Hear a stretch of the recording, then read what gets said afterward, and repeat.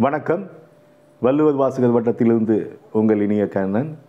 College TRP announcement லேட்டஸ்ட்டாக வந்திருக்கு. அந்த எக்ஸாம் பேட்டர்ன் வந்து எப்படி சிலபஸ் வந்து எப்படி இருக்கும் எப்படி வந்து தேர்வுக்கு தயாராகலாம் நாங்கள் எப்படி வந்து online test online class online வந்து ஸ்டடி வந்து மெட்டீரியல் இதை பற்றியெல்லாம் வந்து இந்த செஷனில் வந்து சொல்ல போகிறேன் ஃபஸ்ட்டு வந்து உங்களுக்கு காலேஜ் டிஆர்பி வந்து பேப்பர் ஒன்று பேப்பர் ரெண்டு.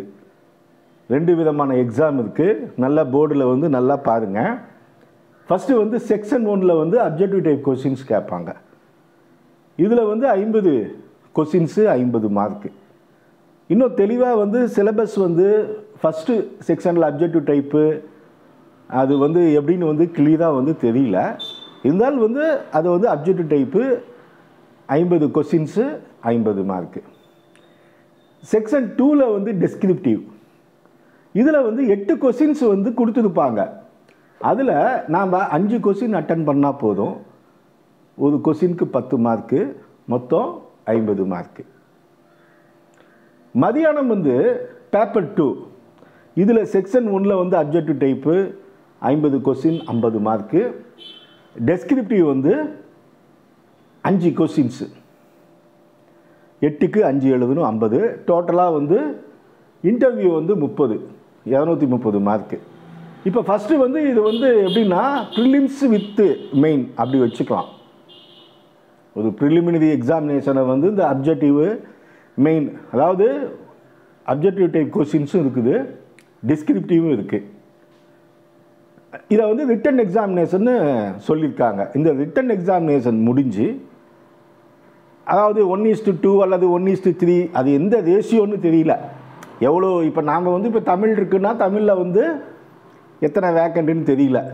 ஒரு ஆயிரம் போஸ்ட்டுக்கு அப்படின்னு வந்து சொல்லியிருக்காங்க. தௌசண்ட் நாச்சும் வந்து எடுப்பாங்க. நாலாயிரம் போஸ்ட்டு அப்படின்னு வந்து சொல்லியிருக்காங்க. அதில் மேஜர் கான்ட்ரிபியூஷன் வந்து தமிழ் வந்து இருக்கும். அப்போ தமிழில் வந்து ஒரு உதாரணத்துக்கு நான் சொல்கிறேங்க ஒரு ஆயிரம் போஸ்ட் இருக்குதுன்னா எப்படியும்? ஒரு ஒன் இஸ்ட்டு டூனா ரெண்டாயிரம் அல்லது மூணாயிரம் போஸ்ட்டு அந்த மாதிரி வந்து கூப்பிடலாம். அவங்களுக்கு வந்து இன்டர்வியூ வந்து பண்ணுவாங்க. அதில் வந்து முப்பது. எப்படி டிஎன்பிசியில் வந்து மெயின் எக்ஸாம் முடிச்சுட்டு இன்டர்வியூ வந்து கூப்பிடுறாங்களோ அதே மாதிரி தான் குரூப் ஒன்று குரூப் செகண்ட்லாம் வந்து இன்டர்வியூ வைக்கிறாங்களோ மெயின் எக்ஸாமினுடைய இதை பொறுத்து. இதில் வந்து என்னென்னா உங்களுக்கு டூ ஹண்ட்ரட் மார்க்ஸ் வந்து உங்களுக்கு வந்து ரிட்டன் டெஸ்ட்டில் சரி. அப்ஜெக்டிவ் டைப்பை பற்றி உங்களுக்கு எல்லாத்துக்குமே தெரிஞ்சிருக்கும். எப்படி வந்து கொஸ்டின்ஸ் வந்து கேட்பாங்க அப்படின்ட்டு. இப்போ சிலபஸ் வந்து உங்களுக்கு வந்து இது வந்து பிஜிடிஆர்பி லெவல் தான். இப்போ நீங்கள் பிஜிடிஆர்பியில் நீங்கள் படிக்கக்கூடிய சிலபஸ் எல்லாமே நீங்கள் கல்லூரியில் வந்து அஞ்சு வருஷம் என்ன படிச்சிங்களோ அந்த டாப்பிக்கினுடைய அடிப்படையில் தான் வந்து சிலபஸ் வந்து ஃப்ரேம் பண்ணியிருக்காங்க. அதனால் ஒன்றும் புதுசாக டாப்பிக்கெல்லாம் வானத்துலேருந்து ஒன்றும் குதிக்காது. நீங்கள் அஞ்சு வருஷம் கல்லூரியில் என்னென்ன படிச்சிங்களோ நீங்கள் ஒரு தமிழ் மாணவராக இருந்தீங்கன்னா கண்டிப்பாக வந்து நீங்கள் மொழி வரலாறு படிச்சிருப்பீங்க.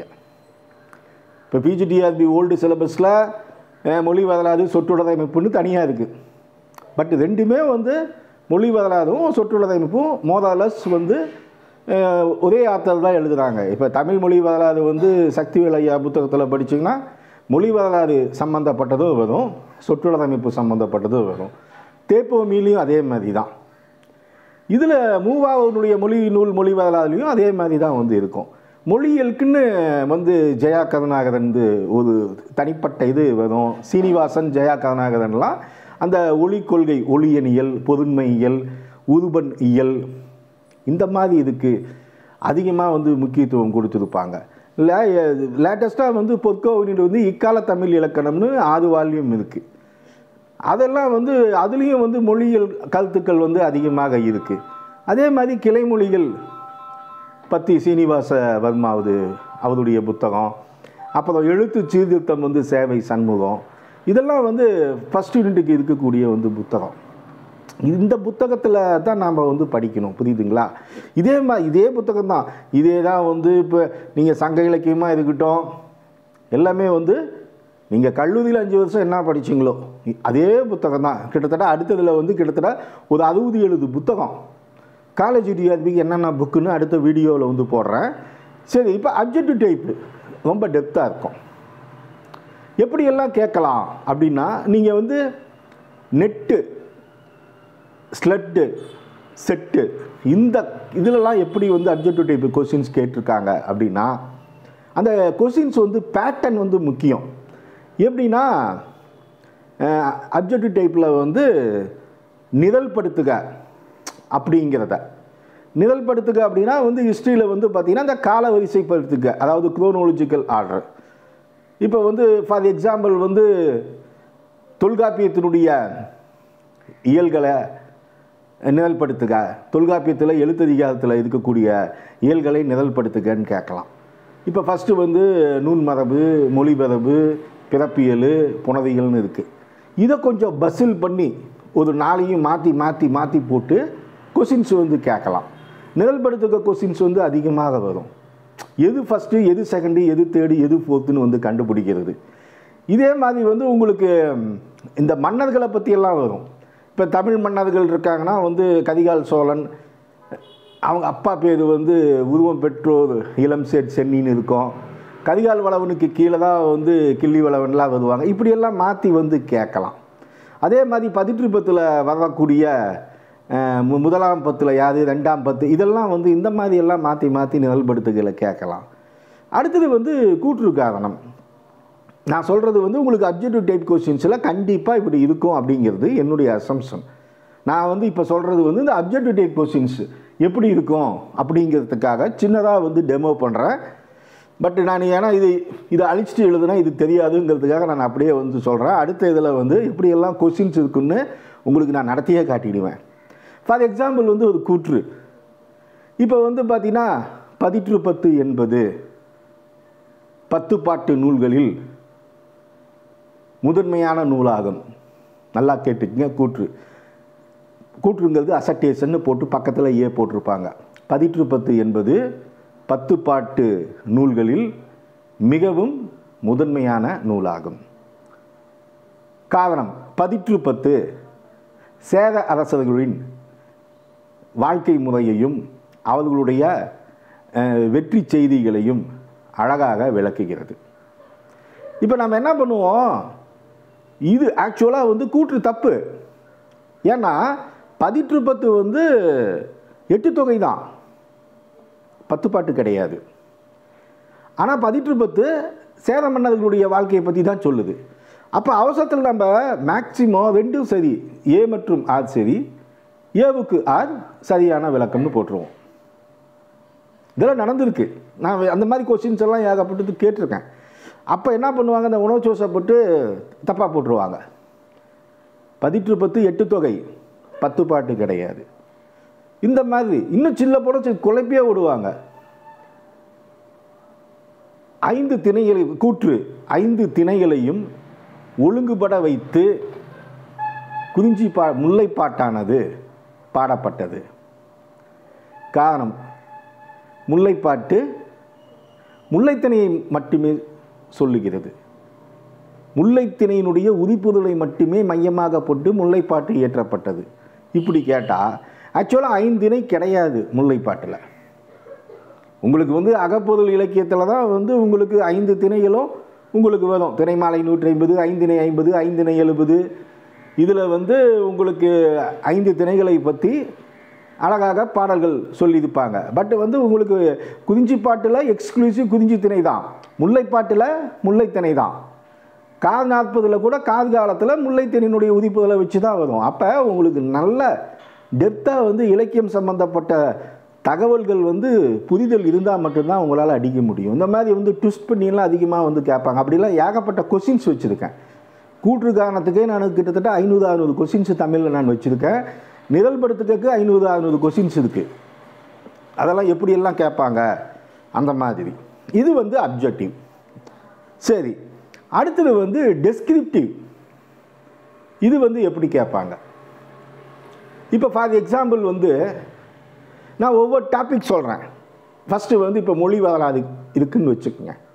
அதில் டெஸ்கிரிப்டிவாக எப்படி கேட்கலாம்? இப்போ மேக்ஸிமம் வந்து பிஜிடிஆர்பி யூஜிடிஆர்பி இது வரைக்கும் டிஆர்பிக்கு படித்தவங்க ஈவன் காலேஜ் டிஆர்பி நடந்து எத்தனை வருஷம் ஆகுது? அதனால் அதெல்லாம் மறந்தே போயிருப்பாங்க. அதனால் இப்போ புதுசாக எழுதுனவங்க வந்து பாருங்க இன்னும் நான் சொல்ல விட்டுட்டேன். சிலபஸ் வந்து ஆக்சுவலாக இதனுடைய எஜுகேஷனல் குவாலிஃபிகேஷன் என்னன்னா இந்த ஜிஓ அஞ்சு ஹையர் எஜுகேஷன் பதினொன்று ஒன்று ரெண்டாயிரத்தி தொண்ணூறு போய் பார்த்தீங்கன்னா யார் யாரெல்லாம் இந்த தேர்வை எழுதலாம்? எம்ஃபில் முடிச்சிருந்தா எழுதலாமா? பிஹெச்டி முடிச்சிருந்தா? ஆனால் கண்டிப்பாக நீங்கள் நெட்டு செட்டு ஸ்லெட்டு பாஸ் பண்ணியிருக்கணும். ஃபுல்லாக டெப்த்தாக போட்டிருக்கான். அதை பார்த்துக்குங்க. ஏதாவது அது வந்து சாதாரண மேட்ருனால அதுக்கு போகலை.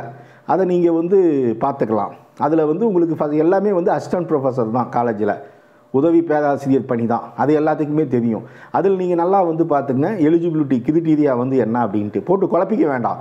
நீங்களே வந்து போய் பாருங்கள் பார்த்தீங்கன்னா தான் உங்களுக்கு வந்து ந- நீங்கள்லாம் எழுதலாமா இல்லையான்னு தெரியும். ஏன்னா ஃபோன் பண்ணி ஏகப்பட்ட பேர் நான் வந்து பிஹெச்டி படிச்சுட்டு இருக்கேன் எழுதலாமா அப்படிங்கிறாங்க. அதுதான் நான் சொன்னேன். நீங்கள் இதை பார்த்துக்குங்க. ஃபுல்லாக ஃபுல்ஃபில் பண்ணிக்கங்கன்ட்டு. சரி இப்போ நம்ம பாயிண்ட்டுக்கு வரலாம். எப்படி இருக்கும்? இப்போ மொழி வராதுன்னு கேட்டால் இப்போ மாற்று இலக்கணத்தின் கொள்கைகளை ஆய்வு செய்க இப்படின்னு டெஸ்கிரிப்டிவில் கேட்டுறாங்க.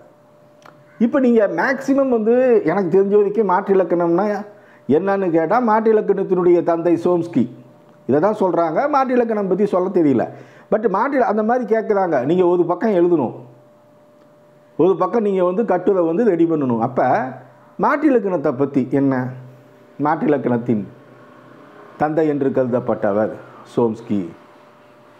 இவருடைய புத்தகம் வந்து தொடரியல் கூறுகள் சினாட்டிக் ஸ்ட்ரக்சர் ஆயிரத்தி தொள்ளாயிரத்தி ஐம்பத்தி ஏழு.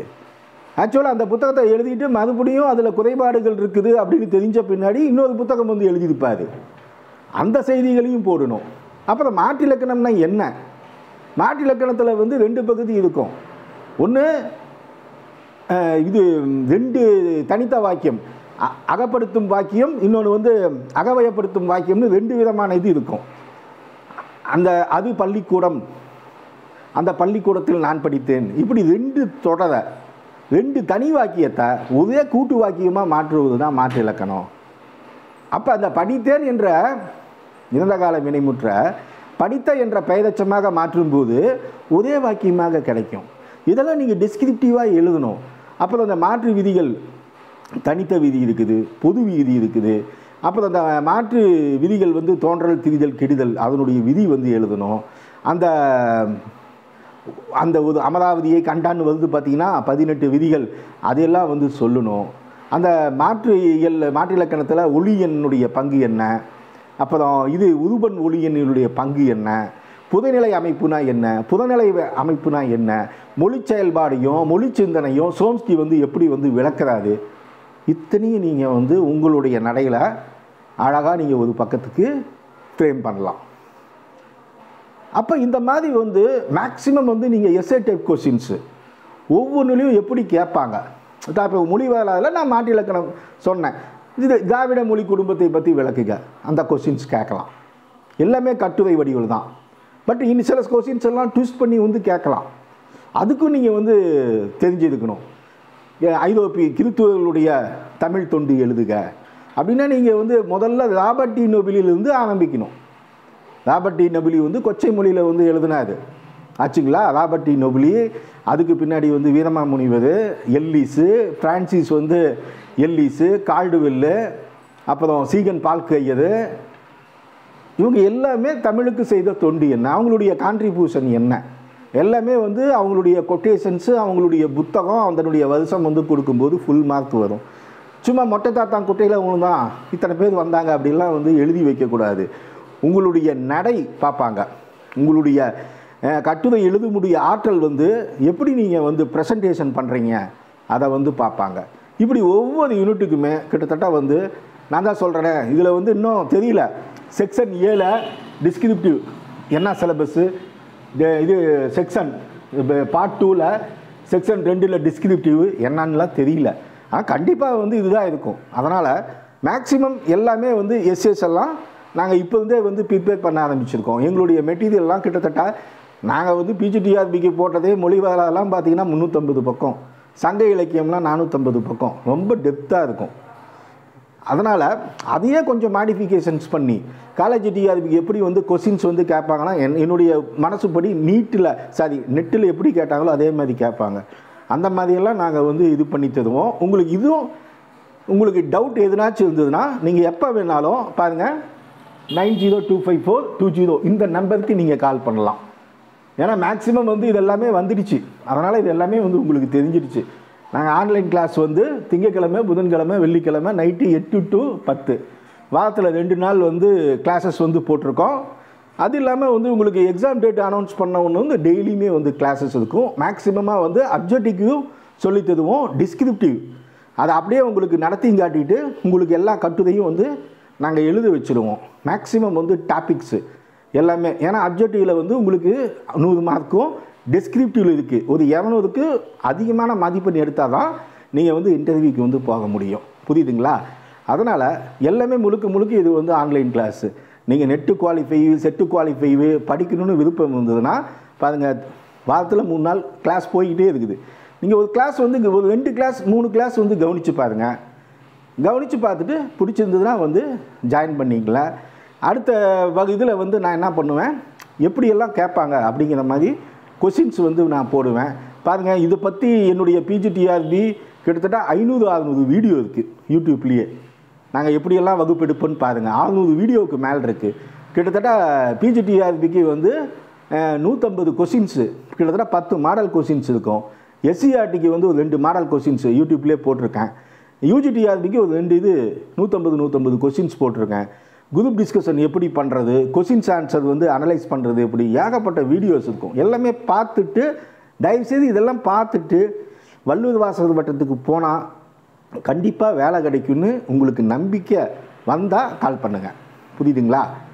நாங்கள் சும்மா வந்து ஐம்பது பேர்த்த வேலைக்கு அனுப்புகிறோம் இந்த இந்த வருஷம் பிஜிடி அதுக்குள்ளே ஒரு முப்பது முப்பத்தி மூணு பேர் வேலைக்கு போயிருக்காங்க. நான் வந்து பாஸ்டெல்லாம் நான் வந்து சொல்ல கிடையாது. எங்களுடைய பாசிட்டிவ் ஸ்ட்ரென்த்து எங்களுடைய யூடியூப் வீடியோவை ஃபுல்லாக தரவாக செக் பண்ணுங்கள் எப்படி நடத்தணும் எந்த மாதிரி நடத்தணும் எல்லாமே பாருங்கள் சார் என் ஃப்ரெண்டு சொன்னாங்க அவங்க சொன்னாங்க அதெல்லாம் கேட்காதீங்க. உங்கள் மனசை மட்டும் வந்து பார்த்துட்டு நீங்கள் வந்து கால் பண்ணுங்கள் கண்டிப்பாக வந்து கிளாஸஸ் வந்து உங்களுக்கு வந்து ஒரு ரெண்டு கிளாஸ் மூணு கிளாஸ் வந்து நீங்கள் வந்து ஃப்ரீயாக வந்து பார்க்கலாம். கூகுள் மீட் வந்து கிளாஸு எங்களுடைய ஆன்லைன் கிளாஸ் வந்து முழுக்க முழுக்க கூகுள் மீட்டு கூகுள் மீட் இருந்தால் தான் வந்து எடுக்கும். மெட்டீரியல் எல்லா யூனிட்டுக்குமே கொடுப்போம். டெஸ்ட் மெட்டீரியல் உண்டு. ஆன்லைன் வந்து டெஸ்ட் உண்டு. அதை பற்றியெல்லாம் நான் வந்து டீட்டெயில் வந்து நான் வந்து சொல்கிறேன் நன்றி வணக்கம். வள்ளுவர் வாசக வட்டம் உங்களுடைய வெற்றிக்கு வழிகாட்டும். எங்கள் வாழ்வும் எங்கள் வளமும் மங்காத வளம் என்று சங்கே முழங்கு.